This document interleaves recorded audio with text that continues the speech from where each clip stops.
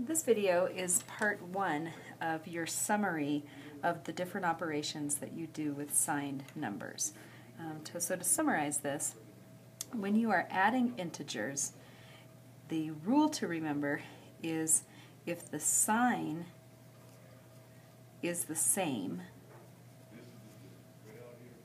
keep the sign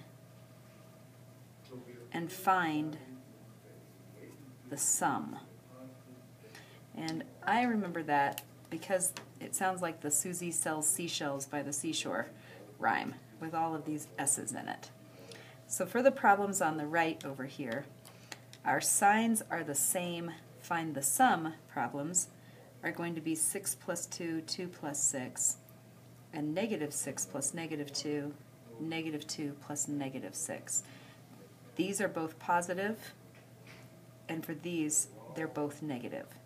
So I keep the sign. These started as positive numbers, so they're going to have positive answers. Here, these started as negative numbers, so they're going to have negative answers. 6 plus 2 is 8. 2 plus 6 is also 8. And here, we again find the sum. 6 plus 2 uh, is still 8 and we're going to keep that negative sign. Then part two of the rule says if the signs are different,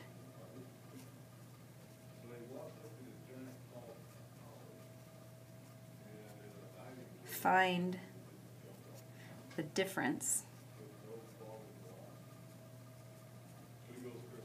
and keep the bigger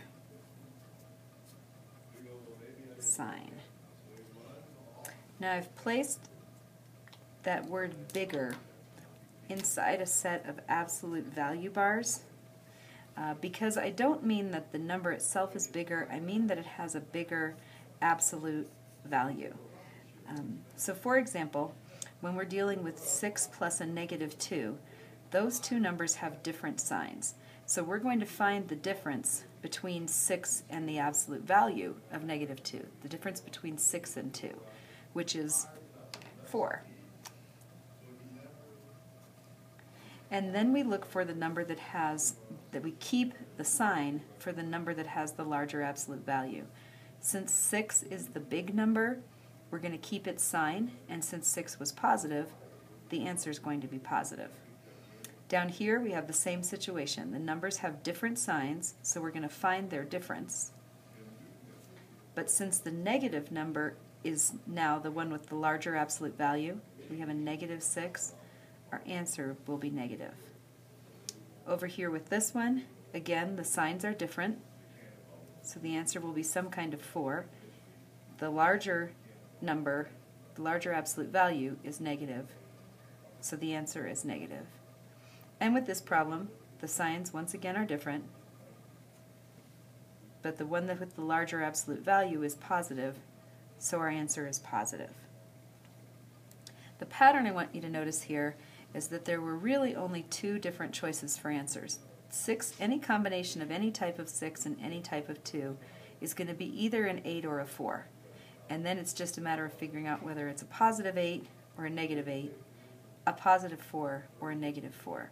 So when you're doing these families of problems where all of the digits are the same and just their signs are switching, make sure that you have two of one type of number and two of another.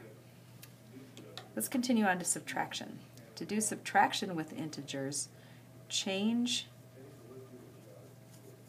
all subtraction to addition and change second sign to the opposite. So much like our rules for division with fractions, where we took all division problems in fractions and turned them into multiplication problems by multiplying by the reciprocal, or our shortcut explanation for that was copy dot flip. We have a similar process that we follow to do subtraction with integers. we're going to take all of these subtraction problems, turn them into addition problems, and then change the sign of the number after it. So 6 minus 2 is going to become 6 plus negative 2. 6 minus negative 2 will become 6 plus positive 2. Here we have a plus negative and a plus positive, a plus negative, a plus positive, a plus negative, and a plus positive. Now that they are addition problems, we're going to follow the rules for addition.